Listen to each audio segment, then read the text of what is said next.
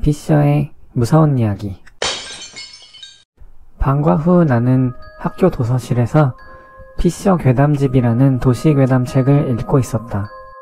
괴담집의 첫 이야기는 다리장수 할머니라는 할머니 귀신의 이야기였다. 학교 근처에서 학생들의 다리를 잘라가서 파는 할머니? 와, 개무섭. 이런 할머니 만나면 진짜 뼈도 못 추리겠네. 야, 이 찐따 새끼야. 뭐하냐? 이, 일진아. 이건 뭐야? 피셔 괴담집? 미친, 이딴 책이나 읽고. 야, 너 돈 가져왔어? 아, 미안해. 오늘 엄마가 아파서 아침 일찍 병원 가시는 바람에 돈을 못 받았어. 야, 이 쓰레기 새끼야. 내가 너한테 어제 어디더스 잠바 분명 줬지? 그거 받고 50만원 가져오라고 했어, 안 했어, 이 새끼야? 해- 했는데, 솔직히 50만 원은 너무 비싸서. 퇴! 아! 아, 더러워! 뭐? 더러워? 이 새끼 정차 아이돌 스타가 될 이 몸이 로얄젤을 하사했는데 더러워? 안 되겠다. 얘들아, 오늘 이 새끼 아주 다진 고기로 만들어버리자. 나는 우리 반 찐따였다. 일진이의 폭행은 날로 가면 갈수록 심해졌고, 덩치가 작은 나는 일진이에게 일방적으로 당할 수밖에 없었다. 일진이는 내 버스카드나 핸드폰 등 모든 물품을 뺏거나 망가뜨렸고, 자기가 입다가 질린 낡은 옷이나 신발 등을 말도 안 되는 가격으로 나에게 강매했다. 심지어는 반 애들이 보는 앞에서 수치스러운 일을 당하기까지 했다. 학교가 끝난 후 나는 영혼이 다 털려서 집에 가고 있었다. 일진이는 집도 잘 살고 잘생기고 아이돌까지 준비하는 애가 왜 나를 괴롭히는 걸까? 서러움에 펑펑 울면서 집에 가고 있는데 어디선가 나를 부르는 목소리가 들려왔다. 학생, 학생, 나를 부른 건 길에서 물건을 팔고 있는 할머니였다. 학생, 이것 좀 봐요. 아, 싱싱한 물건이 많은데 하나 골라봐요.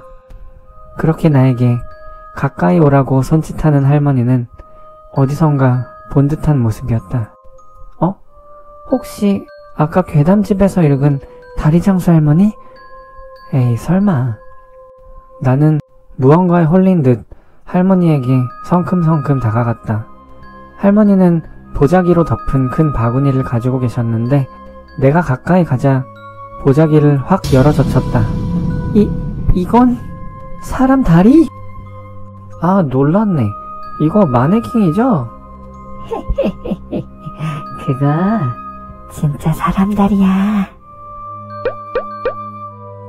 으아! 피, 필요 없어요. 아, 필요 없어요. 필요 없다고? 진짜 필요 없어? 그럼 으아! 나는 쓰러진 채로 몸이 굳어버려서 도망칠 수 없었다. 아주 맛있게 생긴 예쁜 다리로구나. 할머니, 봐주세요. 다, 다리 살게요. 다리 사갈게요. 이미 늦었다. 자, 잠깐만요. 그럼 일진이 다리를 가져가세요. 응? 일진이? 네, 일진이요. 일진이가 다리 필요하댔어요. 일진이가 저 다리 전부 다 살 거예요. 나는 죽기 살기로 입에서 나오는 대로 말을 내뱉었다. 내가 왜 그런 말을 했는지는 알 수 없었지만 일진이한테 괴롭힘만 당하고 여기서 다리까지 잘린다고 생각하니 내 인생이 너무 억울해서 나도 모르게 그런 말을 해버린 것 같다. 두려움에 소리를 치다가 정신을 차리고 보니 할머니는 어느새 어디론가 사라지고 없었다. 아, 찐따한테 내일 50만원 받으면 이번에 나온 신상 나이스 신발 사야지. 아, 찐따 하나 잘 둬서 인생이 아주 편하네. 학생, 학생, 뭐, 뭐야, 이 할망구. 누구야? 내 방에 어떻게 들어온 거야? 학생, 다리 좀 사가세요. 뭐? 다리? 그딴 거 필요 없으니까 죽여버리기 전에 당장 나가! 그래, 안 산다고? 그렇다면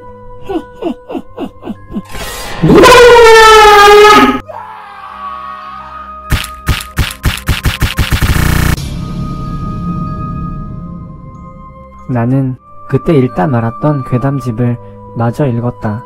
할머니는 원래 길에서 생선을 파는 생선 장수 할머니였다. 그런데 학교 일진들이 장난으로 할머니에게 발길질을 하였고 할머니는 길 한켠에 놓여있던 돌뿌리에 머리를 받게 되어 돌아가시게 되었다.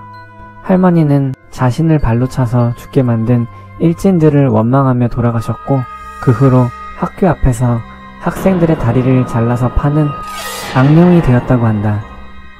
그 책에는 또 이런 내용도 써 있었는데 할머니가 다리를 사라고 했을 때 사겠다고 하면 엉덩이에 다리를 꽂아 다리가 세 개 달린 몸으로 만들어 버린다고 했다. 반대로 다리를 사지 않겠다고 하면 다리를 잘리게 되는데 다리를 잘리기 전 다른 사람의 이름을 말하면 할머니는 그 사람에게 가게 된다고 했다. 그때 내가 정신없이 일진이의 이름을 말했는데 책의 내용이 진짜라면 할머니는 일진이에게 가게 된 걸지도 모른다. 그리고 일진이는 며칠째 학교에 나오지 않고 있다. 선생님 말로는 일진이가 크게 다쳐서 병원에 입원했다고 했지만 어디를 얼마나 다쳤다는 구체적인 말까지는 없었다.